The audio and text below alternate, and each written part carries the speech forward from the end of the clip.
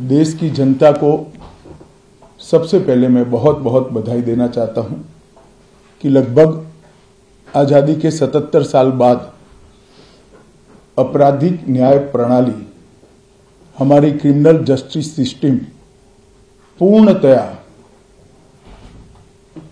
स्वदेशी हो रही है और भारतीय इथोस के आधार पर ये चलेगी। 75 साल के बाद इस कानूनों पर विचार हुआ और ये कानून जब आज से हर थाने में अपना काम करना चालू करेंगे तब अंग्रेज़ों के बनाए हुए कानून निरस्त होकर भारत की संसद ने बनाए हुए कानून आएँगे दंड की जगह न्याय लेगा। देरी की जगह स्पीडी ट्रायल और स्पीडी जस्टिस मिलेगा। और पहले सिर्फ़ पुलिस के अधिकारों की रक्षा की गई थी। अब पीड़ितों के अधिकारों की रक्षा और जो कंप्लेनेंट है, इसके भी अधिकारों की रक्षा करने का काम होगा। तो एक नए नज़रिए के साथ ये तीनों कानून आज सुबह से ही मतलब कल मध्य रात्रि से काम करना शुरू किए हैं। अब इंडियन पिनल कोड जिसको आईपीसी कहते थे 1860 से जो कानून था, इसकी जगह बीएनएस भारतीय न्याय संहिता आएगी। क्रिमिनल प्रोसीजर कोड जिसको सीआरपीसी कहते थे, जो अठारह से अमल में था, इसकी जगह भारतीय नागरिक सुरक्षा संहिता बीएनएस आएँगे। और इंडियन एविडेंस एक्ट 1872 से जो इस देश के क्रिमिनल जस्टिस सिस्टम को गवर्न करता था, इसकी जगह भारतीय साक्ष्य अधिनियम बीएसए लागू होगा। तो बीएनएस बीएनएसएस और बीएसए के लागू होने से पूरी न्याय प्रणाली का आपराधिक कानूनों की पूर्णतया इसके अंदर हम कह सकते अब भारतीय आत्मा है। इसके ढेर सारे प्रावधान ऐसे किए गए हैं, जिससे कई समूहों को फ़ायदा होगा। कई सारी दफाएँ जो अंग्रेज़ों के समय से विवाद में रही, इसको हटाकर आज के समय के अनुकूल धाराएँ जोड़ी गई है और कई सारी ऐसी चीज़ें जिससे भारतीय नागरिकों को परेशानी थी, इसको उठाकर नए प्रावधान किए गए हैं। सबसे पहले हमने इसमें हमारे संविधान के स्पिरिट के तहत दफाओं की और चैप्टर्स की प्रायोरिटी तय की है।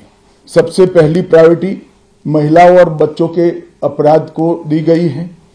और मैं मानता हूँ कि ये करने की बहुत समय से पहले ज़रूरत थी।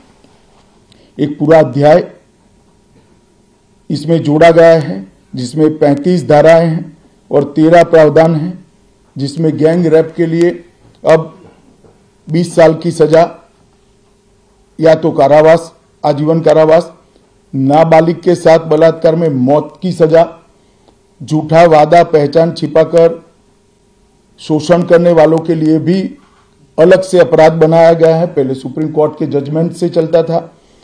पीड़िता का बयान, उसके घर पर महिला अधिकारियों की अधिकारियों की उपस्थिति में और अपने परिजनों की उपस्थिति में लेने का भी प्रावधान किया है और इसके साथ साथ ऑनलाइन एफआईआर की व्यवस्था से भी ढेर सारी उत्पीड़न का सामना कर रही महिला एम्बरेसमेंट से बच पाएगी, ऐसा हमारा मानना है। सालों से देश भर में मॉब लिंचिंग के अपराध के लिए कानून में कोई प्रावधान नहीं था। प्रावधान करने की मांग होती थी। पहली बार मॉब लिंचिंग को परिभाषित किया गया है। नस्ल, जाति, समुदाय, लिंग जन्म स्थान भाषा और अन्य कारणों से जो मॉब लिंचिंग होता है, इसमें सात वर्ष के कारावास से लेकर मृत्यु की सजा और आजीवन कारावास तक इसके अंदर जोड़ा गया है। तो एक बहुत बड़े समय से जो मांग थी, वो पूरी होने जा रही है। रात दो, एक ऐसा कानून था जो अंग्रेज़ों ने अपने शासन की रक्षा के लिए बनाया। चाहे महात्मा गांधी हो, चाहे तिलक महाराज हो, चाहे सरदार पटेल हो, सभी लोग यही कानून के तहत छह छह साल की सजा काटे थे। इसी कानून के तहत केसरी पर प्रतिबंध लगाया गया था। वो अपने राज्य की सुरक्षा के लिए अंग्रेज़ों ने बनाया हुआ कानून था। राजद्रोह को हमने जड़ से समाप्त कर दिया है और देश विरोधी हरकतों के लिए नई धारा लेकर आए हैं। पहले स्टेटमेंट देना गुना था। अब भारत की एकता और अखंडितता को क्षतिग्रस्त करने के लिए ये कानून अमल में आएगा। तो आज़ादी के इतने सालों के बाद ये कानून में बदलाव हुआ है, जो एक बहुत बड़ा परिचायक है हमारे संविधान के स्पिरिट का। मैं आप सभी के सामने बड़े विश्वास के साथ कहता हूँ कि ये तीनों कानूनों के पूर्ण स्पिरिट के साथ देश भर में लागू होने के बाद ये कानून सबसे आधुनिक न्याय प्रणाली का सर्जन करेंगे। टेक्नोलॉजी को हमने न केवल अपनाया है, आने वाले 50 सालों तक टेक्नोलॉजी में जो भी अनुसंधान होने की संभावनाएँ हैं, इस सबको कानून के अंदर हमने व्याख्या के तौर पर समाहित किया है जैसे आने वाले समय में भी जो अनुसंधान होंगे, वो व्याख्यायित किए गए ये विश्व की सबसे आधुनिक न्याय प्रणाली बनेगी, इसका मुझे विश्वास है। कंप्यूटराइजेशन की प्रक्रिया ऑलरेडी पूरी हो गई है। निन्यानवे पॉइंट नाइन प्रतिशत थाने कंप्यूटराइज हो चुके हैं। ई रिकॉर्ड जनरेट करने की प्रक्रिया भी हमने 1900 2019 से ही चालू कर दी थी। Zero FIR e FIR chargesheet और जवाब ये सभी डिजिटल होगा। किसी को बड़े बड़े जेरोक्स निकालकर करने की ज़रूरत नहीं है। एक लाख पेज की चार्जशीट भी एक छोटे से पेन ड्राइव से जजीज के सामने जाएगी और पक्षकर्ताओं को दिए जाएगी। नब्बे दिन के अंदर इस कानून में पीड़ित को, जिन्होंने न्याय की गुहार की है, उनको अपने केस का प्रोग्रेस ऑटोमेटिकली ऑनलाइन भेजा जाएगा। हमने इसके अंदर सात साल और उससे ज़्यादा सजा वाले सभी गुना में फॉरेंसिक की टीम की विज़िट को कंपलसरी कर कर फॉरेंसिक एविडेंस को कानूनी जामा पहनाने का काम किया है। मैं मानता हूँ कि इससे बहुत फ़ायदा होगा। दो सिद्धि का प्रमाण हम बहुत आगे तक ले जा पाएँगे।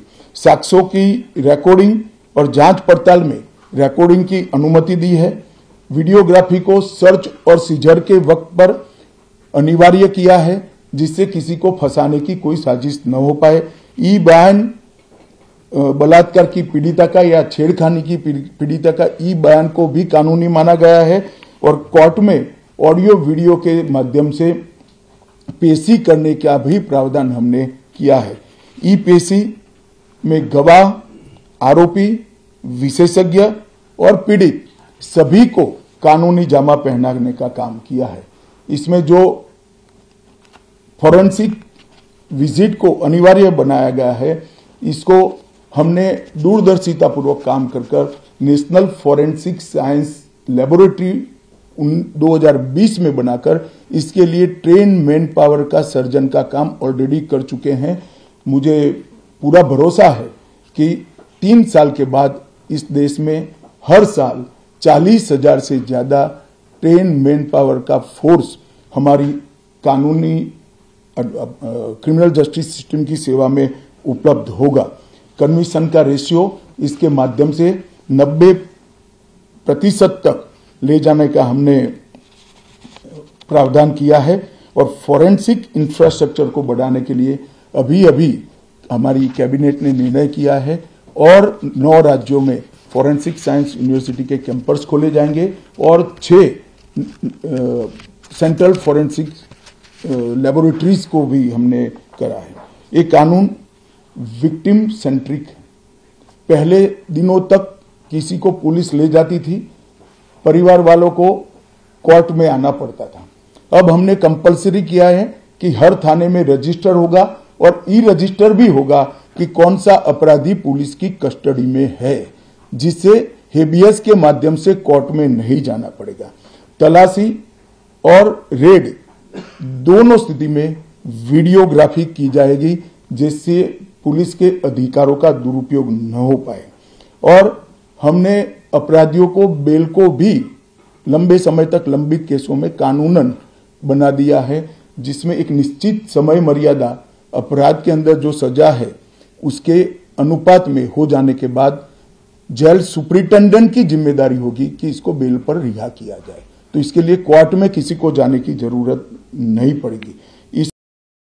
विक्टिम को अपनी बात रखने का मौका मिलेगा इंफॉर्मेशन का अधिकार मिलेगा और नुकसान के लिए क्षतिपूर्ति का भी अधिकार पहली बार भारतीय कानूनों में हम करने जा रहे हैं।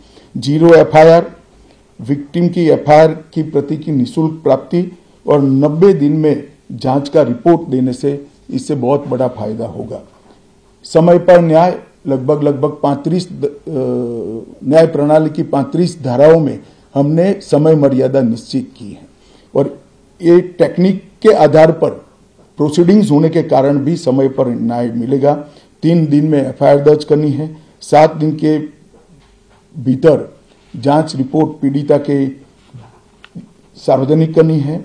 साठ दिन के अंदर ही अपराध तय करने हैं और घोषित अपराधियों के खिलाफ 90 दिन के अंदर मुकदमा कायम करना है और आपराधिक मामलों में मुकदमे की सुनवाई के बाद ज़्यादा से ज़्यादा 45 दिन के अंदर जजमेंट की घोषणा करनी है। तो कई जगह पे हमने समय को कम कर कर, बाध्य कर कर हमने जल्दी से न्याय मिल पाए इस दिशा में काम किया है।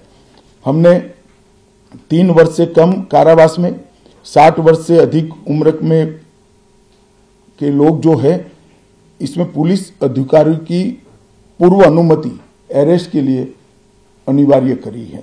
गिरफ़्तार व्यक्ति को 24 घंटे में मजिस्ट्रेट के सामने ले जाने का प्रावधान भी कानूनी बनाया है और 20 से ऐसी ज़्यादा धाराएँ हैं जिसमें पुलिस की जवाबदेही हमने सुनिश्चित करी है। पहली बार पी का भी हमने प्रावधान इसके अंदर किया है। साक्ष्यों के संबंध में भी टेक्नोलॉजी को हमने बढ़ावा दिया है। इलेक्ट्रॉनिक साक्ष्यों के प्रति विश्वसनीयता बढ़े इसके लिए कानूनी प्रावधान कड़े किए हैं। सर्वर लॉग, स्थान संबंधी साक्ष्य और वॉइस मेल ये सब की व्याख्याएँ की गई है। अब न्याय प्रक्रिया प्रक्रिया संविधान की आठवीं अनुसूची में आने वाली सभी भाषाओं में काम करती हो जाएगी। हमारी स्थानीय भाषाओं के लिए बहुत बड़ा फैसला है। हमारा पूरा सॉफ्टवेयर जो बनेगा वो आठवीं अनुसूची में आने वाली सभी भाषाओं में बनेगा। कानून बनने के बाद, संसद ने पारित करने पारित करने के बाद तैयारी के लिए ढेर सारा प्रयास भारत सरकार के गृह मंत्रालय और हर राज्य के गृह मंत्रालय और जस्टिस मंत्रालय ने किया है। लगभग लगभग साढ़े बाईस लाख पुलिस कर्मियों की ट्रेनिंग के लिए बारह हज़ार मास्टर ट्रेनर्स बना बना दिए गए कई इंस्टीट्यूशन को अधिकृत किया गया और तेईस हज़ार नौ सौ बानवे मास्टर ट्रेनर अब तक ट्रेन हो चुके हैं। जुडिशरी में इक्कीस हज़ार सबॉर्डिनेट जुडिशरी का ट्रेनिंग हो चुका है और इसके लिए भी आगे पर मास्टर ट्रेनिंग की, ट्रेनर्स की कई बैच स्थानीय भाषाओं में तैयार हो गई है। बीस हज़ार पब्लिक प्रोसिक्यूटर्स को ट्रेन किया गया है और लगभग लगभग हर प्रोसिक्यूटर को एक ऐप दे दिया गया है और नए कानून छापे हुए दिए गए हैं कि जून पुरानी धारा कौन सी थी, नई धारा कौन सी है। प्रिजन के इक्यावन कर्मचारियों का ट्रेनिंग हुआ है और फॉरेंसिक के चार हज़ार कर्मचारियों का ट्रेनिंग हुआ है। कुल मिलाकर ट्रेनिंग ट्रेनिंग की संख्या पुलिस में छह लाख प्रोसिक्यूशन में चार हज़ार जुडिशरी में लगभग बीस हज़ार फॉरेंसिक में भी चार हज़ार और प्रिजन में दस हज़ार आठ सौ अड़सठ मास्टर काम कर रहे हैं। मित्रों, ये संहिता के लिए कुछ विपक्ष के मित्र अलग अलग बातें मीडिया के सामने रख रहे हैं कि अभी ट्रेनिंग नहीं हुई है चर्चा नहीं हुई है। मैं आप सभी को बताना चाहता हूँ कि लोकसभा में कुल मिलाकर नौ घंटा और उनतीस मिनट चर्चा हुई है। चौतीस सदस्यों ने इसके अंदर पार्टिसिपेट किया है। राज्यसभा में छह घंटा और सत्तर मिनट चर्चा हुई। चालीस सदस्यों ने पार्टिसिपेट किया है। एक ये भी झूठ चलाया जा रहा है कि सबको बाल निकालने के बाद ये बिल लाया गया। बिल बिज़नेस एडवाइजरी कमेटी में पहले से निश्चित था। मेरा ये स्पष्ट मानना है कि 14 तारीख से ही विपक्ष ने सदन का बहिष्कार करने जैसी हरकतें करी थी। और शायद वो हिस्सा लेना नहीं चाहते थे। और दोनों सदनों में 14 तारीख में लोकसभा में छियानवे और राज्यसभा में छियालीस सदस्यों ने ऐसी हरकतें की जिससे पीठासीन अधिकारी उनको बाहर करने के लिए मजबूर हो जाए। फिर भी एक ऑप्शन था। ये बहुत बड़ा दूरगामी परिणाम लाने वाला कानून था। वो एक कानून के लिए स्पेशल अंदर आकर चर्चा में अपना मत रख सकते थे। इसके पहले भी मैंने 2020 में सभी सांसदों को पत्र लिखकर उनके सुझाव मांगे थे। सभी मुख्यमंत्रियों को पत्र लिखकर उनके सुझाव मांगे थे। सभी सुप्रीम कोर्ट के सम्मानीय न्यायाधीशों को पत्र लिखकर उनके सुझाव मांगे थे। सभी हाईकोर्ट के चीफ जस्टिस को पत्र लिखकर सुझाव मांगे थे। गृह सचिव जी ने सभी आईपीएस अफसरों से सुझाव मांगे थे, सभी कलेक्टर से सुझाव मांगे थे, और ये सब सुझाव मिल मिलाकर मैंने खुद अधिकारियों की बैठक को अलग करे तो मैंने खुद एक सौ अठावन बार इसकी मीमांसा कर कर, बैठक कर कर, विचार कर कर एक बिल बनाया। ये बिल को भी संसद ने ऐसे ही पारित नहीं किया है। गृह विभाग की समिति के पास ये बिल को भेजा गया। ढाई महीना या तो तीन महीना इस पर विशद चर्चा हुई। सभी दल के सांसदों ने इसके अंदर हिस्सा लिया है, अपने सुझावों को रखा है। चार पाँच पॉलिटिकल स्टाइल के सुझाव छोड़कर मैं दावे से कह सकता हूँ, हर सुझाव को समाहित कर कर, तिरानवे बदलाव कर कर बिल को फिर से कैबिनेट ने पारित किया और पारित करने के बाद सदन के सामने रखा गया। इतने बड़े सदियों के बाद हो रहे सुधार को पॉलिटिकल कलर देना मैं मानता हूँ ठीक नहीं है। मेरे तो सभी विपक्ष के साथियों से विनती है। पॉलिटिक्स करने के ढेर सारे मुद्दे हैं। आराम से करिए पॉलिटिक्स कोई चिंता नहीं। हम भी जवाब देंगे। मगर ये कानून देश के 140 करोड़ नागरिकों को, संविधान का जो स्पिरिट है, न्याय और आत्मसम्मान वो समय पर दिलाने की एक एक्सरसाइज है। तो आप सभी लोग इसमें कॉपरेट करिए। और मैं मानता हूँ कि जिसको भी कुछ कहना है, मेरा दफ्तर हमेशा खुला है, मैं अवेलेबल हूँ। मिलने से पहले रोड पर जाना मैं मानता हूँ ठीक नहीं है। चर्चा करनी चाहिए, कुछ भी हो, बात करनी चाहिए। और मेरा स्पष्ट मत है, जो मैं आज बेबाक तरीके से आप लोगों के सामने रखना चाहता हूँ रिकॉर्ड के आधार पर कह सकता हूँ मैं भारत के आज़ादी के बाद किसी भी कानून पारित कराने के लिए इतनी लंबी चर्चा का प्रोसेस नहीं हुआ है, ये मैं रिकॉर्ड पर कहने के लिए तैयार हूँ। चार साल तक इस कानून पर विचार हुआ। और अगर आपको अभी भी कुछ कहना है तो आप ज़रूर आइए, मैं सुनने के लिए तैयार हूँ। मगर कृपया इस कानून को पब्लिक तक इसकी सेवा करने देने का मौका देना चाहिए।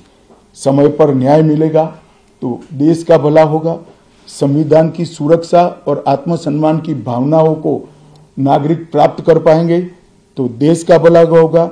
और सबसे बड़ा बदलाव है, हमने थोड़े धैर्य के साथ टीथिंग प्रॉब्लम को देश की जनता ने भी बड़े धैर्य के साथ लेकर सिस्टम को सुधारने का मौका देना चाहिए। और मैं सभी दलों से भी कहना चाहता हूँ कि राजनीति से ऊपर उठकर आप इसका समर्थन करिए और जो भी सुझाव जनता के हित में है लेकर आइए। हम इस पर चर्चा करने के लिए तैयार हैं।